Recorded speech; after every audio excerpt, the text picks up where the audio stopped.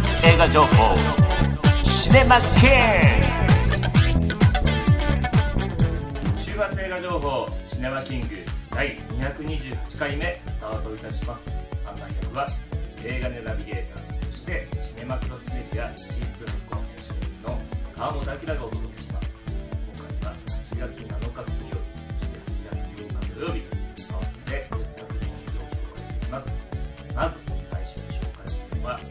映画「ドラえもんのび太の新恐竜」こちらの作品から紹介します。最初に紹介するのは映画「ドラえもんのび太の新恐竜」この作品は国民的キャラクタードラえもん連載50周年映画化40周年記念作品です。シリーズ40作目となる本作は完全オリジナルストーリーで描かれドラえもんのび太の宝島の今井和明監督と脚本の川村元気が再度タッグを組みました。映画「ドラえもんのび太の新恐竜」8月7日金曜日よりミッドランドスクエアシネマ他で公開です。続いて紹介するのは「グランブル」この作品はダイビングサークルを舞台に主人公たちがとにかく脱ぎまくる吉岡君武の同名人気コミックを人気若手俳優の竜星涼と犬飼敦弘のダブル主演で実写映画化。花房勉監督がメガホンを取り型破りな全裸系青春ダイビング映画を誕生させました。グランブル8月7日金曜日よりミッドランドスクエアシネマ他で公開です。続いて紹介するのは劇場版ウルトラマンタイガーニュージェネクライマックス。この作品はウルトラマン太郎の息子ウルトラマンタイガの活躍を描いた特撮ドラマウルトラマンタイガの劇場版です。銀河ビクトリー X オーブジードロッソブルも登場し大河と合わせて8人の新世代ウルトラマンが集結しました。劇場版ウルトラマンタイガニュージェネクライマックス。8月7日金曜日よりミッドランドスクエアシネマ他で公開です。続いて紹介するのは Eyes on Me The Movie この作品はアイズワン初となるコンサートフィルムで2019年6月にスタートした初のアジアコンサートツアーに密着したものです。最初の開催地である韓国公演の模様を中心に会場さながらの臨場感が味わえる。ライブ映像のほかバックステージでのメンバーの様子も収録しています。Eyes on Me The Movie 8月7日金曜日よりミッドランドスクエアシネマ他で公開です。続いて紹介するのは「ハニーボーイ」この作品は人気子役の心の成長を描いたヒューマンドラマです。人気子役オーティス役にはワンダー君は太陽クワイエットプレイスのノア・ジュプ。感情的な父親からの愛情と嫉妬と憤りを受ける複雑な親子関係に奮闘する幼少期青年期をマンチェスター・バイ・ザ・シー3ビルボードのルーカス・ヘッジスが演じています。ハニーボーイ8月7日金曜日より伏見ミリオン座他で公開です。続いて紹介するのはディック・ロングはなぜ死んだのか。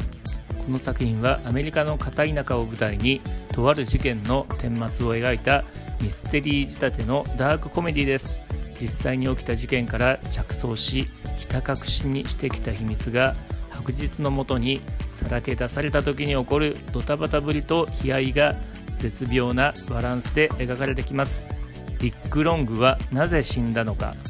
8月7日金曜日よりセンチュリーシネマにて公開です。続いて紹介するのは「ジョーンの秘密」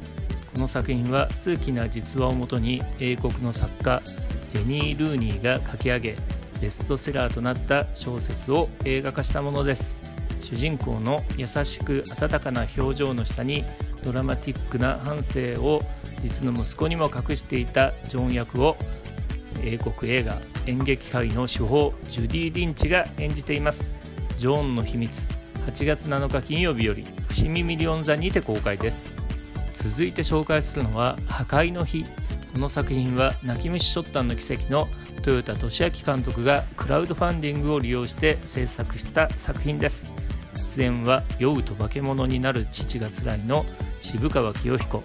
バンド下山のボーカリストとして活躍しこれが映画初出演となる「マヒトゥ・ザ・ピーポー」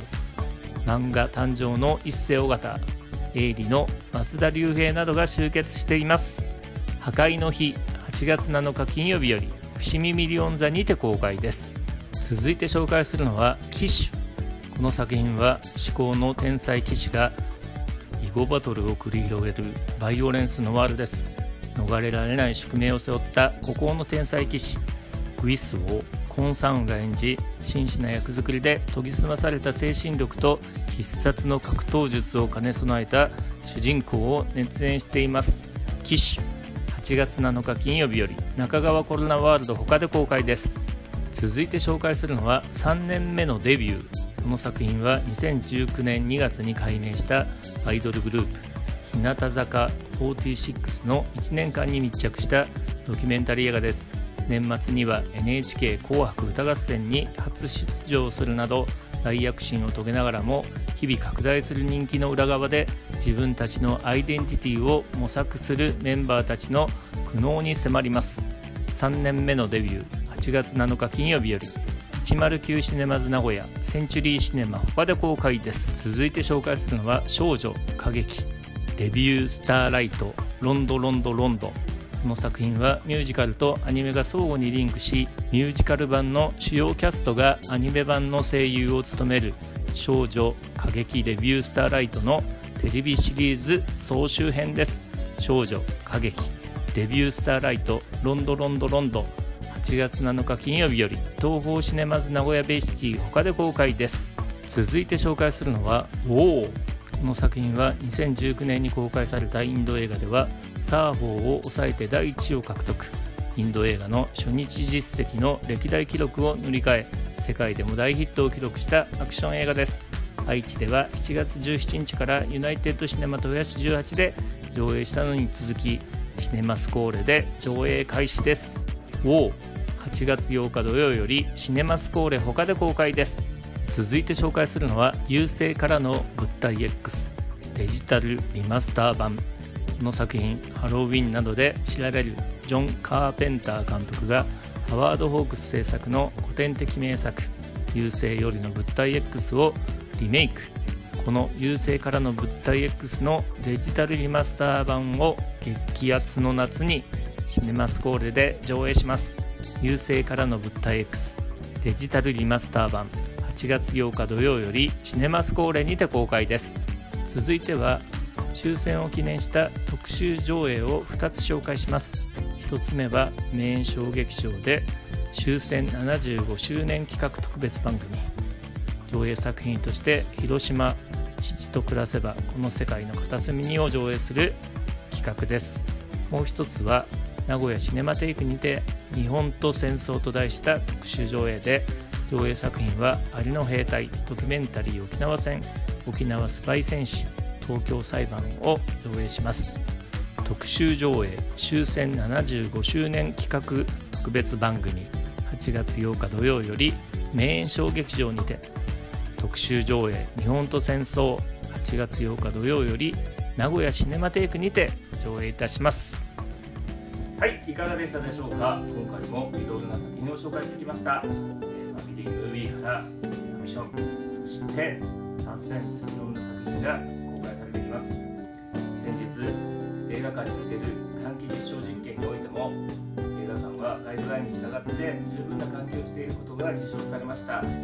新型コロナウイルスの感染症に気をつけながら映画を楽しんでください。そしてムービーシアター映画は総合芸術。映画館で見るために作られております。皆さん感染に気をつけてマスクをつけて体調に気をつけてそして映画を楽しんでみてください。それではさようなら。